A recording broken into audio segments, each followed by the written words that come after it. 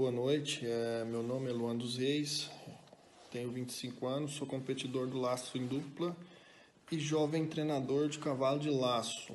É, eu recebi um convite esse final de semana para falar um pouquinho sobre a minha história, como foi meu envolvimento com o cavalo de laço.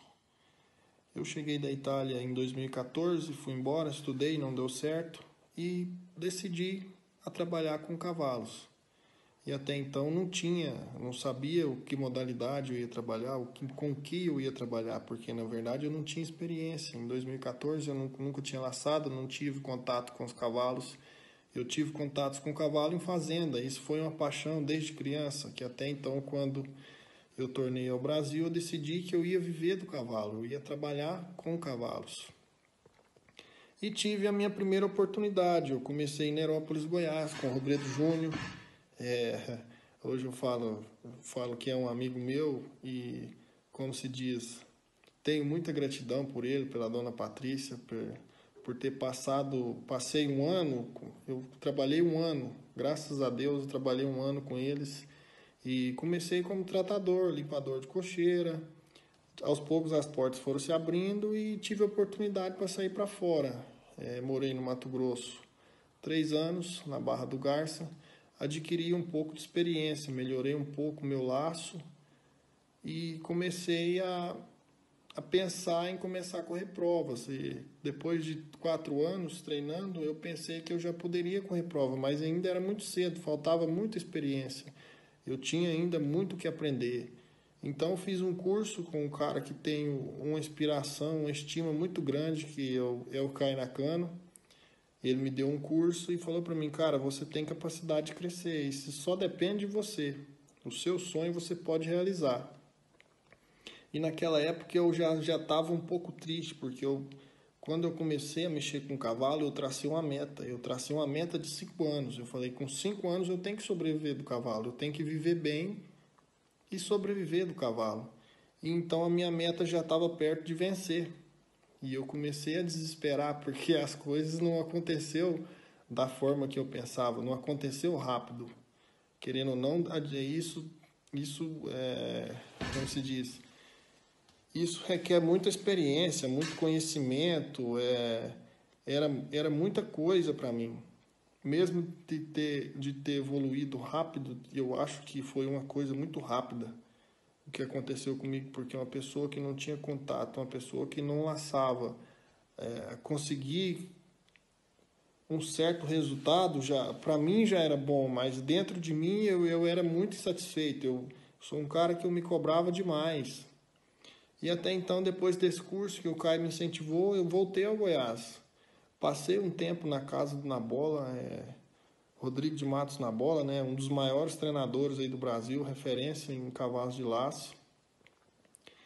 E depois, quando eu saí do Nabola, eu comecei a correr prova. Eu comecei, eu ganhei algumas provas. É, não sou um cara de, que tem o sonho de ganhar provas cronometradas. O meu foco hoje é montar cavalo. É, a gente tem aqui uma parceria do seu Votuir que me cede aqui a me cede o rancho para me treinar meus cavalos, é, me dá uma oportunidade que eu acho que poucas pessoas têm. É, eu sou muito grato por isso. De hoje está entre aspas eu falo minha casa. Eu falo que lá no CT Luan dos Reis. Sou, tenho muita gratidão de dessas coisas que vem acontecendo, mas eu trabalhei bastante começo não, não foi fácil. Eu já pensei em desistir várias vezes, não tive, não tive muito apoio familiar, porque a nossa, a nossa família não vem de uma cultura é, de, de cavalos, vem assim, meu avô montava, meu tio montava, então eu não, ti, não tive esse contato, muito contato. E até então, hoje eu sou um cara que vivo do treinamento de cavalo, vivo do treinamento aqui do CT, aqui de casa, Sou um cara que tenho ainda uma meta, tenho uma meta de, de conseguir ser um dos grandes treinadores, por mais que a gente somos jovens, é, a gente tem até que agradecer aí a página por, por dar essa oportunidade de contar um pouquinho da nossa história, porque às vezes a nossa história serve de inspiração para quem está começando, que são jovens como a gente, que Eu penso muito hoje, às vezes eu paro para pensar, eu fico com raiva, às vezes eu não consigo bater uma meta, eu não consigo melhorar um cavalo, mas eu paro para pensar que ontem a gente apenas limpava cocheira, apenas tratava de cavalo. Hoje a gente já treina cavalo. É, a gente tem que ter um pouco mais de gratidão.